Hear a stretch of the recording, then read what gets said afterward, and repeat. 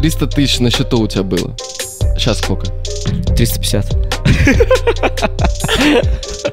Я не знаю, сейчас... Растешь 4 года. Я не знаю, сколько сейчас э, на счету, потому что все в инвест э, лежит в крипте. Э, плюс я выкупаю здесь две квартиры в Дубае. И вот одну сейчас должен продать. Ну, где-то в сумме, не знаю, там ну, может, 150-200 тысяч долларов в моменте, который бы, если бы я сейчас все продал, Да. которые есть, вот таких свободных денег, может, 1200 вот так было бы. 250, может быть, но не больше.